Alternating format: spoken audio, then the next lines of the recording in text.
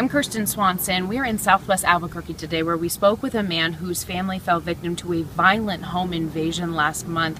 Two men entered their home in the middle of the night, tied them up, forced them into the bathroom, and stole from them. Now he's concerned that the system is too easy on violent criminals and offenders like the ones that broke into his home, and if those two men are released, they'll come back to get revenge.